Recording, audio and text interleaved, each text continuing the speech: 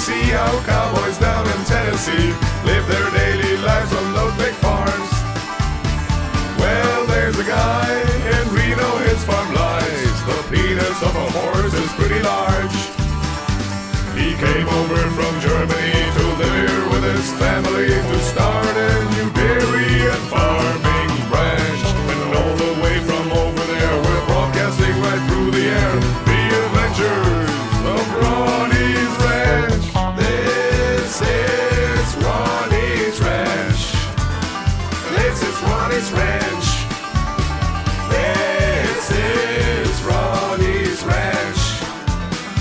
This is Ronny's Ranch.